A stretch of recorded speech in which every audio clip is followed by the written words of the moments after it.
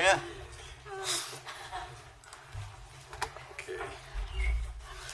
Uh, once again, thank you so much. I'm delighted to be here with you.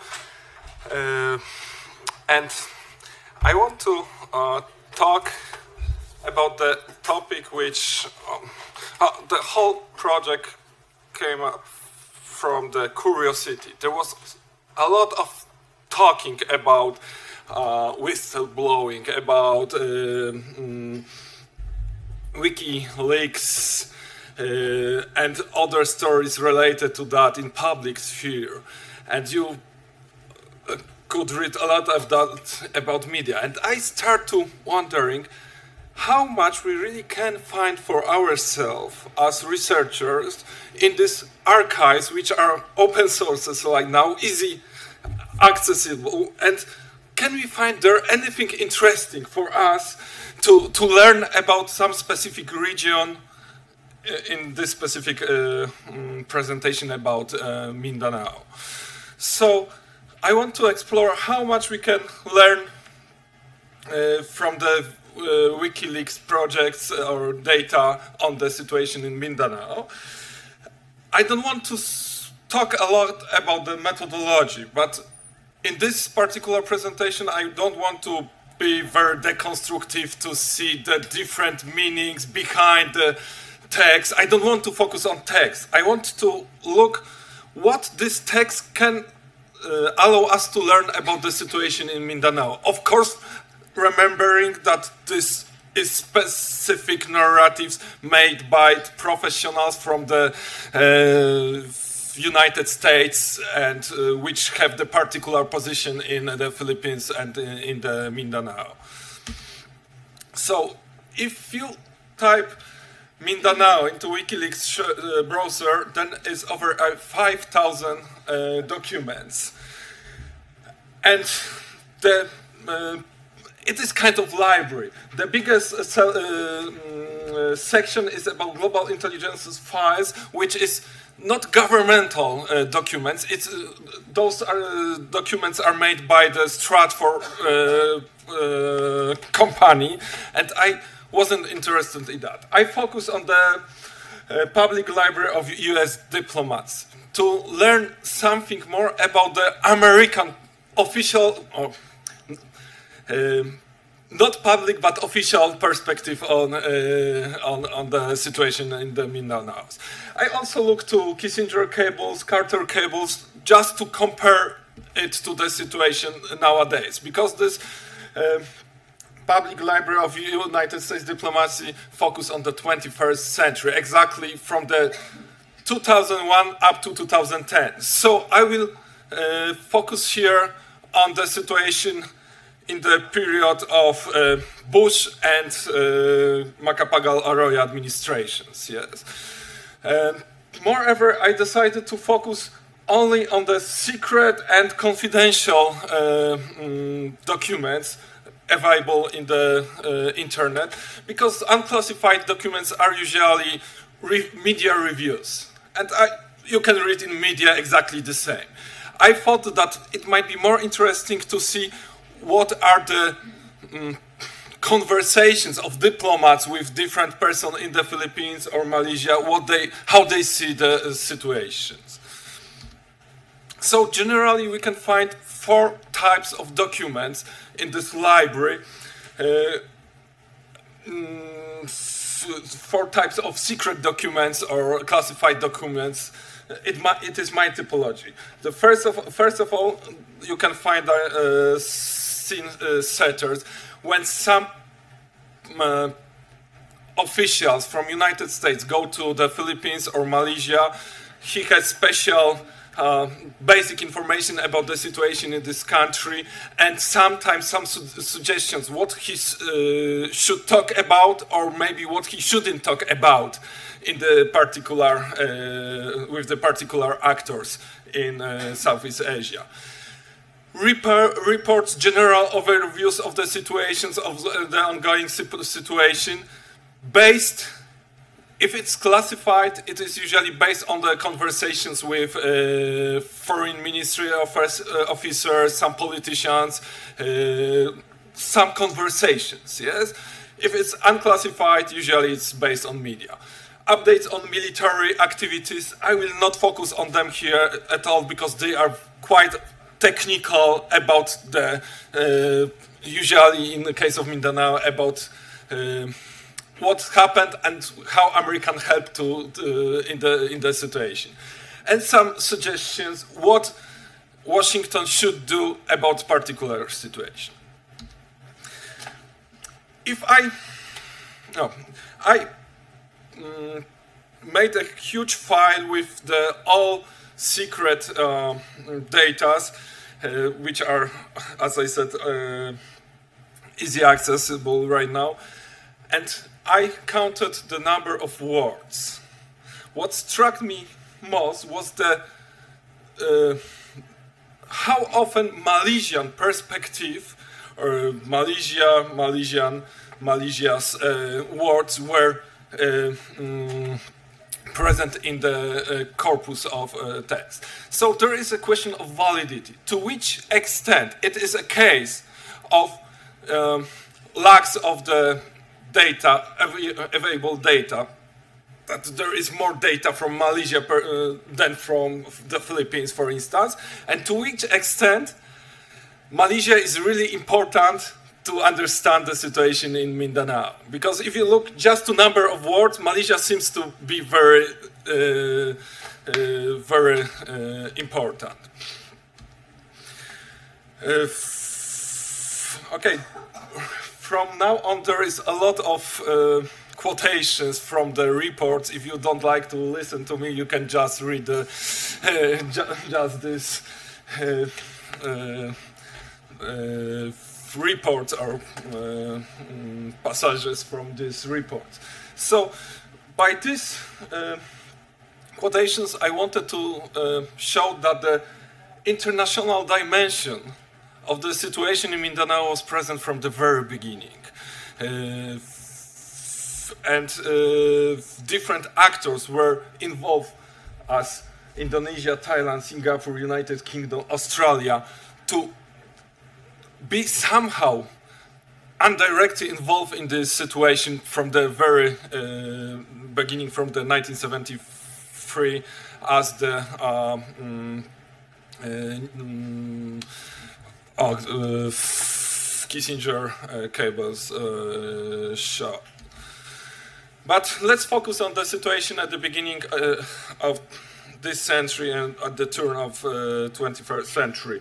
So, if you look into the re secret report for U.S. Congress, it's struck that in 2000, just one year before the 9/11 uh, attacks, the situation in the Mindanao, from the American perspective, was not important at all they said yes, however, there are some competing defensive uh, priorities related to escalation of hostilities after uh, Estrada's uh, offensive against MILF. But the most important was this, what was uh, again important, Southeast China, uh, China Sea di dispute. And this report uh, shows it quite clearly. But then everything changed from the American perspective after uh, September 11. And what is interesting, a lot of local actors in Southeast Asia were aware of this change. And because of that, Nur Misuari sent a clear message to Americans that I'm not terrorist. MILF done the same. They knew that it's very important to be not defined as terrorists by Americans then. Of course, uh, as we can uh, see in this example, um,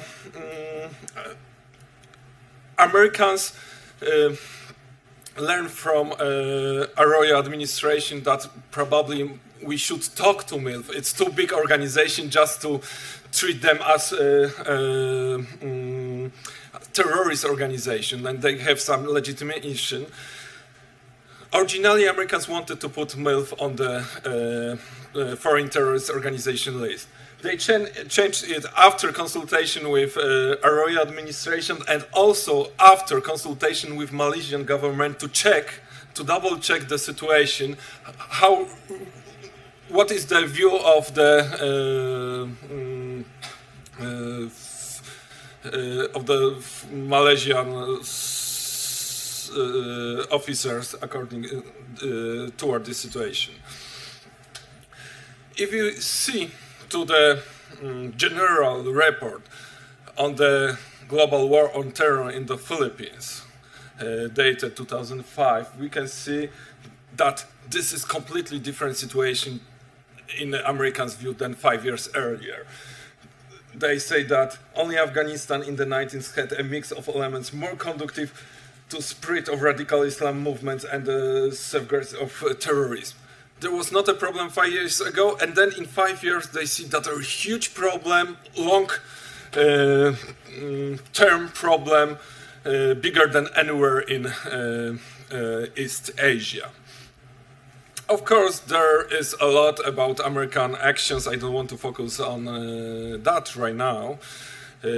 maybe I want to mm, draw your attention to the key missing link, uh, which was, according to American diplomats, the situation in the, the Filipino uh, police. Army is okay, there is a problem with police. And I could hear this uh, point even two months ago when I uh, conducted some interviews in Manila, that there is a problem with, uh, with uh, the police after Mamasapano, there was the same point that there is a problem with police. They should learn something from the. Uh, they should police should cooperate with uh, foreign uh, countries as uh, uh, armed force of the Philippines cooperate. it might be interesting for some of you. It wasn't so popular. it, it is a case where the diplomacy behind the closed door operates, the role of Saudi Arabia, which had, according to different reports, huge uh, leverage over the um, government of the Philippines due to big number of overseas uh, Filipino workers in Saudi Arabia. And because of that, when any time, maybe not any time, but at least few times, the uh, Saudi ambassador asked to release some Saudi uh, uh, citizen from Filipino uh, custody. It was done even though there was some uh, mm, uh, he was suspected of being funneling, financing a terrorist network in the Philippines. So, United States and different countries start to pressure Saudi Arabia to st stop this practice. Uh, in terms to be more efficient in a fight on uh, mm, suspected uh, mm, middlemen. But Malaysia, of course, Malaysia is present in many of uh, mm, uh, documents because of their role in this particular time when Manila was a facilitator, as they said, not mediator, uh, impartial but not neutral. Uh, in the first decade of 21st uh, mm, century peace process. And uh, mm, because of that, you, the, the, there is a lot of uh, mm, information about Ma Malaysia positions and also some of those documents which uh, pop up when I tape uh, uh, Mindanao were not prepared in Manila by uh, American uh, embassy in Manila, but in Kuala Lumpur, and they come from Kuala Lumpur. Yes. Mm. The interesting thing is that from uh, report to report, their perspective on the peace process uh, changed, on the peace negotiation changed. At the beginning, uh, um, Razak, who was the key uh, Manila uh, Malaysian uh, negotiator or broker, was very optimistic. Then he said, "No, it is impossible to to to bring a peace to Mindanao to to sign the peace uh, agreement. Then again, maybe there is a chance. So right now, it's it is quite easy to uh, it is quite easy to look from the perspective that we know how it's finished that it wasn't possible to uh, success to be successful in before 2010 even though there were some hopes that it is possible to do it in 2007 uh, but we all remember the situation with the um, mm, uh, constitutional uh, problem and constitutionality of the agreement, proposed agreement, and it was the reason why it stopped. If we look to the documents, you can see uh, the growing involvement of the U.S., informal involvement of the U.S. government into peace process. At the beginning, Malaysia was kind of um, suspicious about the role of the uh, United States. However, they recognize their uh, role as someone who uh, bring resources like money to the uh, uh, to the um, island, but they wanted to. Well, maybe I shouldn't talk too much about that. Uh, anyway, there, there were some tensions between Malaysia and the United States. But then, when Malaysia saw that the position of Gloria Macapagal uh, Arroyo is uh, weaker and weaker, they start to ask the United States to be more and more involved in the in the uh, process. Mm. And also we can see as uh, through the time the American perspective on MILF changed. As I said at the beginning, they wanted to put, they suggested it to put in, uh, even not Washington suggested it, but uh, Manila embassy suggested to put MILF on the foreign terror, terrorist organization list. At the end, they start to meet uh, with uh, MILF officials in Mindanao. Mm. So the whole 10 years all mm, was uh, summed up by one report, according to one report, as successful strategy without the final triumph, final success. Uh, so, meaning without the uh, signing the agreement. But we know very carefully, and you can uh, we, we, know it very well, and you can see it also in the report that uh, reports that. Um, the signing the uh, agreement is not the end of peace process. Yes, it.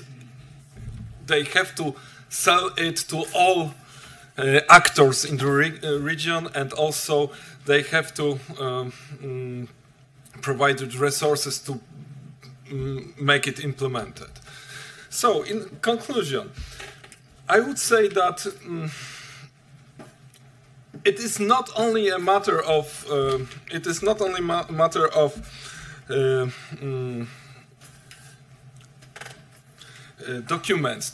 The role of Malaysia in the first decade of the 21st century, and uh, we should remember that Malaysia took part in this uh, peace process, in the, especially in the first uh, uh, first decade of 21st century. especially, it was growing in time, as you can see. The Filipino, the Filipino, which is light blue, it is popular in the first, uh, this phrase, Filipino is popular in the first uh, mm, documents, the earliest documents, because they are more general. And then United States became more, uh, uh more involved and Malaysia uh, more involved due, due to peace process. Of course, we all know that media is the message, meaning that diplomatic cables talks a lot about diplomacy and the role of diplomacy in, in the peace process. Yes. So, summing up, it might be an interesting uh, additional source to uh, supplementary source to get um, personal account of actors involved in the process, to get some uh, additional uh, characteristics of some other actors, but not in this conspiratorial way that there is completely different uh, way, mm, completely, uh, completely different uh, version of history, which is in contradiction to to history from media. It is rather history from specific uh, angle and with very with many uh, mm, many small interesting uh, accounts which can somehow enrich our our knowledge on the on the situation. Thank you so much.